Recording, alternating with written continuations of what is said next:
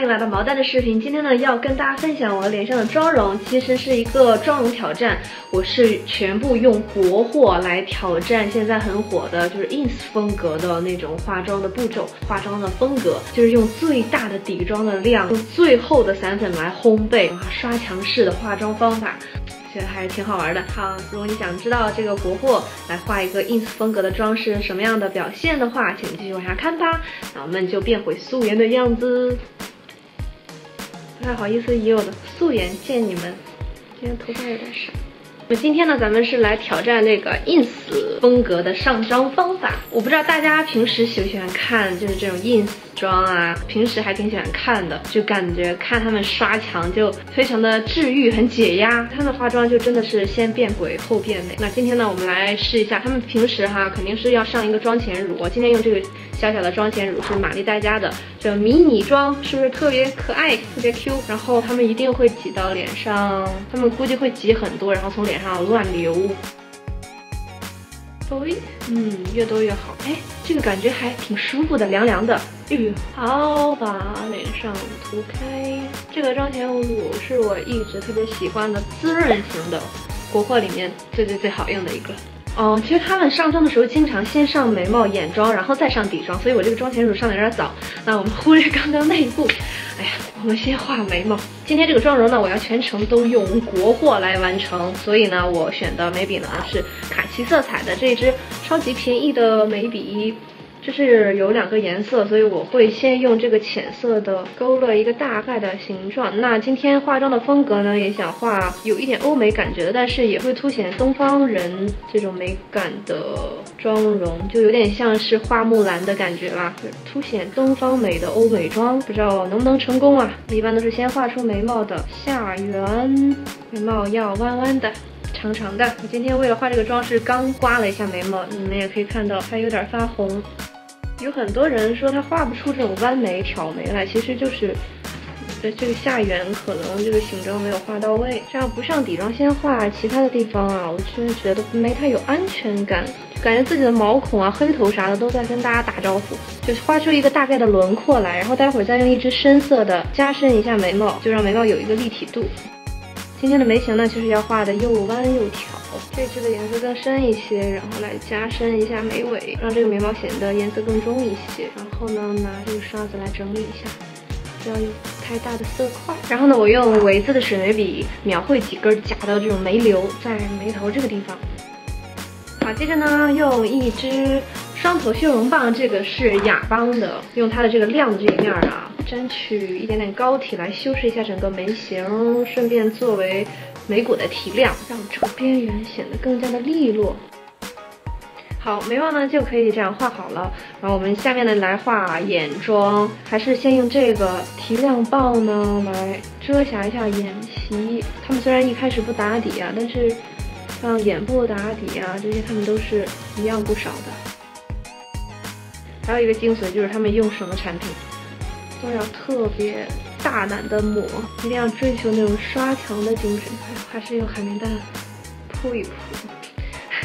我觉得画完这个眉毛之后，我整个表情都变了呢，太诡异了。我稍微修一下我的眉形，这地方让它再拱一点吧，不然太丑了。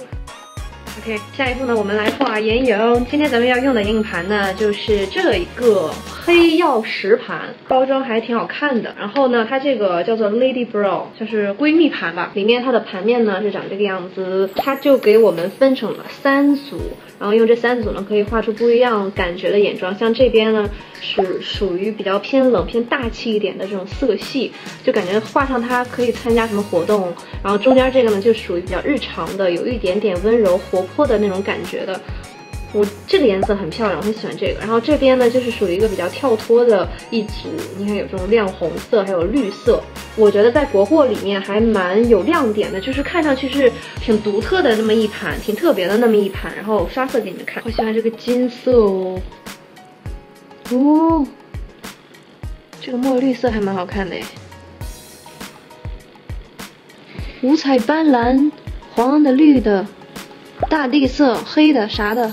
都有，我现在真的很像一个神经病。首先，先用这个浅色的给眼部打个底。那这盘眼影它压盘呢，并不是很实，它就很像那种欧美盘子。看我手里拿这个，就是显色度啊特别特别高。先用这个颜色打个底，好，眼皮好好的给它打上底之后呢，我们今天呢主要是用这盘，因为这盘呢就是让我想到了。Charlotte Tilbury 他们那种感觉的色系，就是这种饱和度很低的，有一点偏红偏粉。然后我今天还要用这个金色的珠光，就这种，这种是我的菜。那我们拿这支漂亮精美的晕染刷，沾一下这个颜色，它是一个脏粉色。你看它这个刷子沾粉的能力哈，抓粉力很强哦。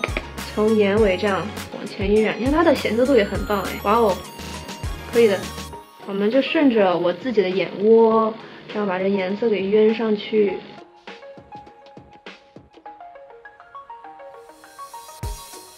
非常的享受。就慢慢的把颜色上上去，一点一点晕染出效果。单独一个颜色，你看它晕出来呢，也会有一个这种层次的渐变。然后蘸取这个颜色，先用一个稍微淡一点点的棕色压在眼尾。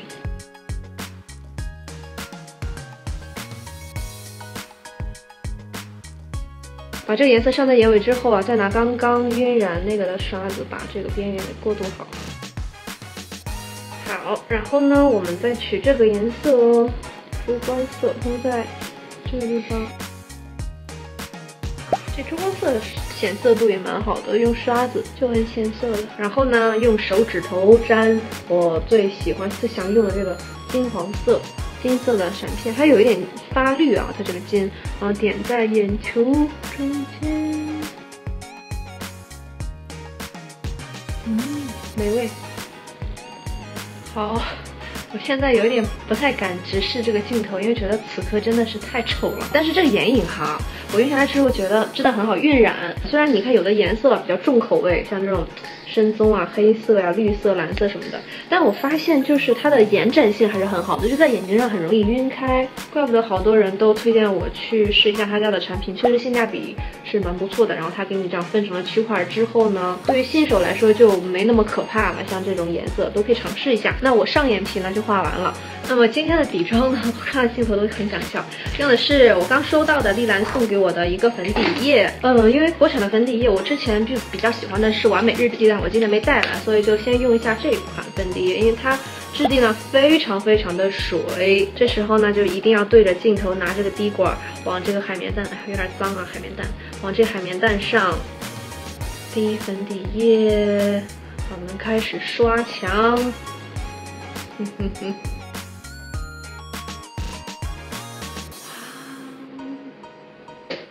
哦，它这个色号好白，不适合我。哎，这也很正常，就是国货粉底液里面适合我的色号啊，嗯，几乎是没有。我看到人家往脸上糊墙的时候，就觉得一拍就很服帖。为什么我觉得怎么拍都拍不服帖呢？你看，按一下就是一个印儿，这个粉厚厚的卡在脸上。人家是怎么做到的呢？刷墙谁不会？根本没在怕的。有很多人不知道，先画的眉毛怎么再涂粉底。就像刚才，因为我用那个遮瑕已经勾勒出一个边缘了，所以你在涂的时候啊，就不会涂在眉毛上。再用侧面把多余的粉给吸走。我觉得，就是如果你放假没事儿在家里自己。化妆玩儿也可以尝试一下这种糊墙的上妆法，消耗一下用不完的粉底液哈，也挺好。这种底妆上出来就很适合上镜，你看，真的是无瑕。要说上这么厚的粉底不卡粉，我是不信的。你看我这脸上卡的。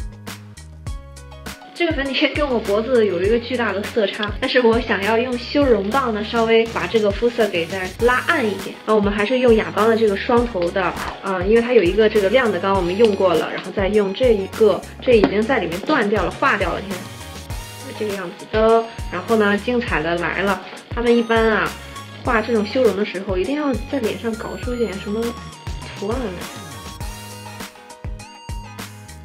来。咦，好恶心啊！因为这是修容的范围有点大，因为我想让这个肤色变暗一点，所以就范围比较大。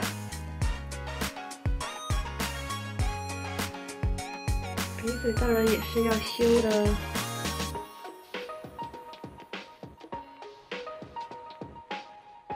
然后再涂一点这个提亮的。他们啊还会在这个地方涂一些那种腮红膏啊啥的，就弄得脸五颜六色的。啊，我今天就这样就够了，已经达到这个视觉效果了。然后呢，我们用海绵蛋先把阴影给拍开。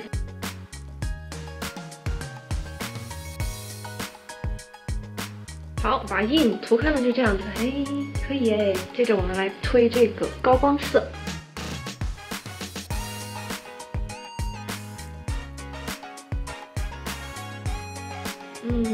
我把这些推在脸上之后，好像是有一点立体的效果了哈。但是呢，这个肤色还是不够深。那我们先来定一下这个脸上的妆，接着呢，用一些古铜粉什么的再来调整这个肤色。今天用的散粉呢是卡婷的这个散粉，它是三色的，但是我会把它们混在一起用。倒出一些粉，那它里面是这种三个颜色的。拿这个海绵蛋呢，争取打在脸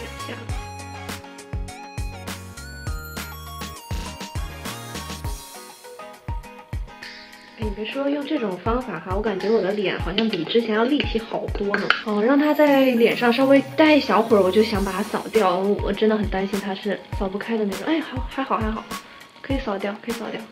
这个散粉啊，确实不太适合烘焙，因为它我觉得有点干，有点吸水。这个散粉上完之后，真的很泛白啊，整个脸真的是像一团面粉。眼下呢紧绷，特别紧绷，感觉有点太干了。这种妆效，待会我们再喷一个定妆喷雾，上一个古铜粉。今天古铜粉呢，用这块施佩妮的，这个我之前推荐过，是它的零零五号。像古铜粉啊，就一定是那种画欧美妆必不可少的，所以我用一个大刷纸，然后呢，直接这样。在脸上，增加脸的这个暖度，因为这整个脸都发灰了。这个刷子真的是世界第一软吧？应该太软太舒服了。它碰到脸的时候啊，你是觉得像一一条丝缎拂过你的皮肤。好，上完这个古铜粉之后呢，再来上修容，一层叠一层。那这个修容我今天用的是玛丽黛佳的这个双色的修容粉。现在我的眼妆下半段呢还没有完成呢。所以先不着急啊，先上这个修容。这个修容呢是着重打在这个地方。修容打完之后呢，我们赶紧先把眼妆完成吧。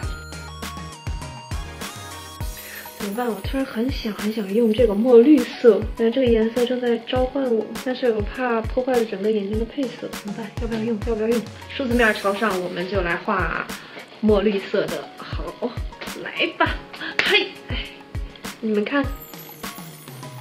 啊，数字面的，好好命运让我来用一下这个墨绿色，不好看也别赖我。绿色，我们再用刚刚那个粉色，脏粉色呢，把边缘再给晕的好看一点点。那上眼睑眼尾的地方也要稍微加深一些，不然下眼睑真的颜色太重了。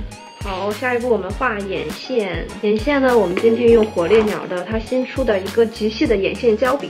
那这种眼线胶笔呢，就本身比那种粗一点的好用，然后它这个是拧出来没法转回去的，所以就防止它容易断呀之类的。所以你用多少转出多少，嗯，千万不要转太多，因为它比较细，然后它画起来呢比头饰偏软一点点的，就怕它容易断。看一下，这个是棕色的，你看画出来是不是很细？嗯，这个是黑色的，哎，这个黑色的还蛮黑的，还蛮顺滑的，挺好画的。就是如果今天画日常妆的话，肯定是用棕色了，棕色画出来比较的柔和，显得眼神也比较温柔。那今天这个妆感比较重的，我就要用黑色底。先画一下内眼线。哦，我觉得这个还蛮适合画内眼线的，因为它笔头笔芯够软，比较好上色。再用它画一条上扬眼线。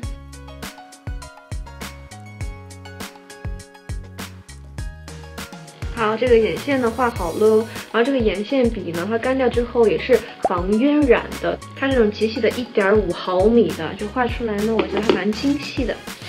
下面呢，我们来戴假睫毛，这个假睫毛是必须的，嗯，假睫毛加上呢是这种效果。接着我们在眼头再加这个，下眼睑的眼头还没有涂这个颜色。接下来我们再用修容这个颜色来修一下鼻影，因为我怕刚刚那个膏状的把眼影给弄花掉，所以这一块呢是没有修的。那我们用这个刷子再把它修一下。很早很早之前的一块了，因为是国货腮红里面我没有找到一个能搭今天妆容的，所以我们就少量的用一点点这个点缀一下就可以，点到即止。画的这个妆，不知道是不是因为睫毛太重，感觉眼睛就很迷离。好，高光呢，我们还是用这一块修容粉里面的颜色，在这个地方。嗯，可以的。我们再用个小一点的刷子打在眉骨上，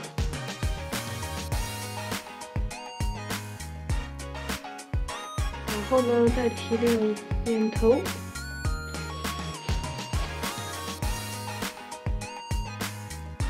好，最后呢，我们来涂口红。今天用到的是美康粉黛的哑光唇釉，我用的这个色号呢是朱砂，那它这个颜色呢是这样的，就是一个那种浓郁的中国红，嗯，就这种颜色。它这个小棒棒呢是尖尖的，就是可以描绘一下唇形。它这个颜色有点像是阿玛尼四零零的感觉，就是有一点冷光红。今天嘴唇是要涂大一点的。好的，看这个颜色真的太好看了，就是那种很浓郁的中国红。我今天故意呢把上嘴唇涂的比较宽，有一点点复古的感觉。其实它是有一点深度的红，所以在黑黄皮脸上呢不会显荧光。这个颜色我超级喜欢。那它这个系列还有很有意思的颜色，叫做赤焰。之前特别流行的那种就是金属色，知道吧？那这个。它是那种橘红色的金属色，它里面是有珠光的。你看我之前画那个眼线，用卸妆水还没有完全的擦掉，就超级持久。然后还有一个颜色叫做红华，是一个很好看的那种脏橘色。它这个系列的口红其实做那种渐变唇的话会很好看，因为它轻轻晕开的时候是很漂亮的柔雾感。你看，然后它会慢慢的在你嘴巴上干掉，它刚涂上去是有一点光泽的，它不会完全的变成粉雾感，就成一层膜抓住你的嘴。它还是会有轻微的这种沾杯，留一点印儿，但是完全不会破坏整个妆效。这口红简直是瞬间给我的妆容增加了生命，注入了灵魂。觉得这个唇形啊，还挺好看的。我之前很少画这种唇形，会显得嘴巴有点大。但是呢，我觉得有一点像东方美人的那种唇形，还挺好看的。我把头发放下来，因为刚刚呢就戴发带的时候我把头发绕进去了，所以它就有一个卷度，有没有？